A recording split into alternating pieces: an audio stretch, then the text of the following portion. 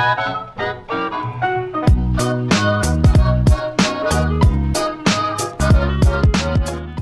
Hello YouTube, name is Nero. Today I have a very special video to share with you guys because today we are going to be taking a look at some never before seen cut content in the Call of Duty franchise. So about a year ago, I made my first video covering cut content and in there, I showed you guys a bunch of features and ideas that were worked on by the Call of Duty developers but ultimately never made it into the final release of their respective games. We had modes like the Vehicle Team Deathmatch that was going to be in World at War, we had the hidden Black Ops MP40 kill streak, we had all the cut perks in Modern Warfare 3. We had the secret fourth kill streak that was going to be in World at War. We covered a lot of things in that video. Well, after making that video, I was contacted by a subscriber named Riley, who has access to a bunch of old Call of Duty dev kits, and he was able to send me a bunch of never-before-seen footage from various Call of Duty games. Today, we are going to be taking a look at that footage, so hopefully you guys will sit back, relax, and enjoy. And let's start things off here by taking a look at the banned Black Ops suicide animation, because a quick bit of backstory here. Originally, the second chance perk in the original Black Ops was going to make you kill yourself with your pistol if you chose to take the coward's way out. At COD XP 2011, David Vonderhaar and Treyarch revealed that the animation was intended to be in the game, but the ESRB made them take it out because they did not want to have any depiction of suicide in the Black Ops multiplayer. Up until today, the only images we saw of that suicide animation was what we saw at Call of Duty XP 2011, but because Riley has access to an old Treyarch dev kit, for the first time ever, we can see actual gameplay of the banned animation.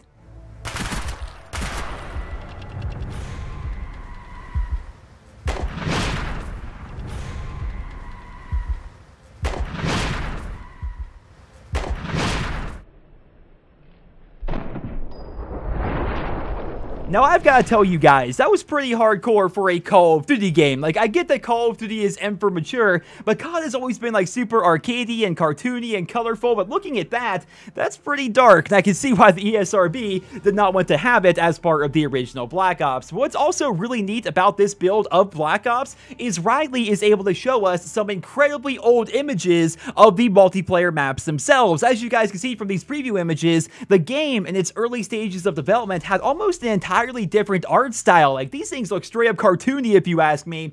Unfortunately, these images are all we can see of the early map builds, because when Riley loads up the maps on his dev kit, they all look pretty much the same as they do today. So, I guess it's possible that there are even older dev kits out there that would show what the maps originally looked like, but for right now, all we have are these images, and I think it's cool to see what Black Ops looked like during its earliest stages of development. Speaking of early stages of development, let's move over to Call of Duty World at War here for a moment because what you guys are looking at is probably the earliest build of World at War in existence because the game was only three or four weeks into development when this was created. According to Riley and his buddies, this build was pretty much only used to test the netcode of World at War. As you guys can see, Treyarch used a lot of assets from Call of Duty 2 and Call of Duty 4 in this build, and in fact, the map you guys are looking at is actually the cut multiplayer map Argoon from Call of Duty 4. Throughout Call of Duty's history, there have been many multiplayer maps that were started by Infinity Ward or Treyarch or Sledgehammer or whoever, but ultimately they get cut because they just decide it's not a very good idea for a multiplayer map, and apparently Argoon was one of them. It was worked on by Infinity Ward, it was tested by Infinity Ward, but as you guys can see, it didn't get super far into development. So this is probably the only Argoon footage on the entire internet as of right now, and Treyarch used it in their early testing of Call of Duty World at War. And speaking of cut multiplayer maps, let's go ahead and check out the Call of Duty 4 pre-alpha multiplayer. Now, longtime fans of my channel will remember that last year I posted a video where I showed you guys a bunch of cut multiplayer maps from Call of Duty 4, and huge shout out to UHD Gaming for posting the original footage, link to him down there in the description.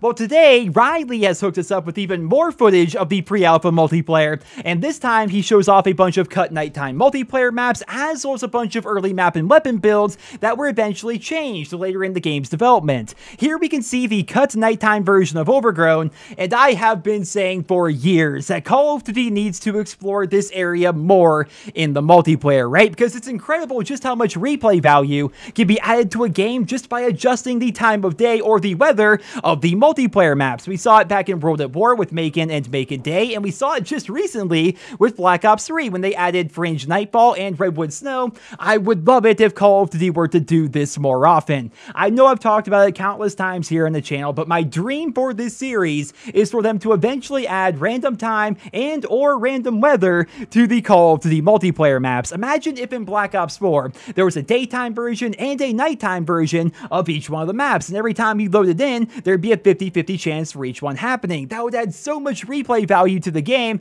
and now also imagine if they were to also add weather into that as well, like clear skies or maybe overcast, where it would rain or snow depending on the map's location. That would be so incredible, but unfortunately, I don't see them ever doing that in the Call of Duty franchise. That seems way too big scale, like way too much work, way too much effort on the part of the developers, but still, it's something I wish would happen for the Call of Duty series. But regardless, I think it's neat to go back and look at the cut nighttime multiplayer maps from Call of Duty 4, and also take a look at how the maps have changed over the course of the game's development, right? Because here we see Vacant, and no doubt a lot of you guys played this map a ton during Modern Warfare Remastered.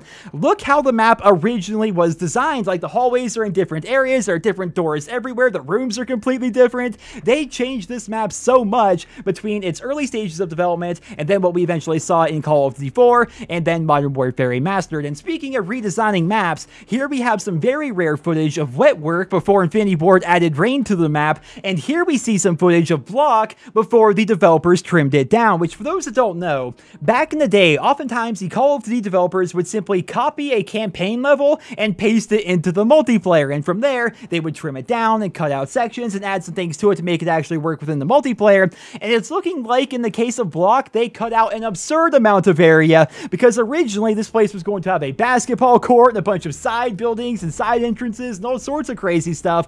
I would argue that today, Bloc is already too big. Apparently, it was going to be bigger earlier on in Call of Duty 4's development, and I know a lot of you guys have probably already seen this, but originally, the multiplayer map Crash was going to have a downed Black Hawk helicopter instead of the downed Sea Knight that we know today, and this is where Riley decided to show off some very early builds of the Call of Duty 4 weapons. I want you guys to take a look at these animations and listen to how the weapons sounded early on in the Call of Duty 4 development.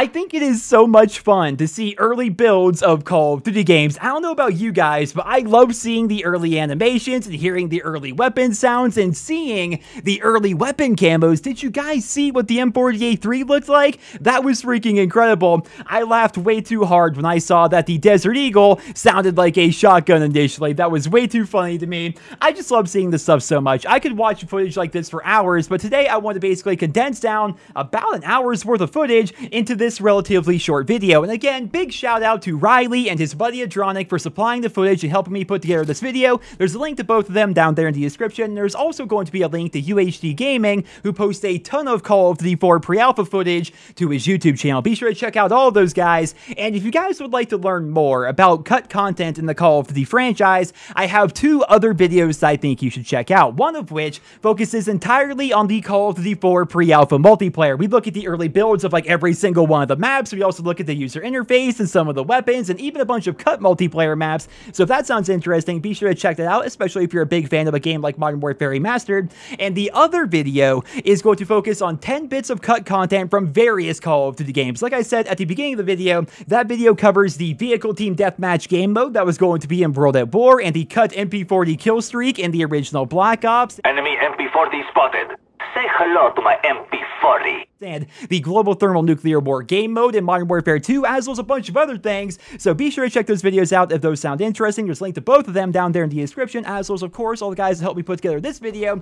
And I'm not sure if this is okay as of right now. I'm going to have to actually contact Riley about this. But if he gives me the go-ahead, I would be more than happy to post up the entirety of the footage I showed you guys here today. I basically wanted to condense it down to a relatively short video so it's easier to consume. But if he's okay with it, I'd be more than happy to post up like all one hour's worth of footage that shows the Call of Duty 4 pre-alpha, as well as the World at War Super Super Super pre-alpha, and of course the footage from the original Black Ops, which shows the banned suicide animation and stuff like that. Again, I'll have to get permission from those guys before I post it, but if it's okay with them, I'd be more than happy to post up here to the channel. As always, I will keep you guys updated, but until then, I hope you enjoyed the video. Leave your thoughts and feedback down there in the comment section below, and I hope you guys all a wonderful day.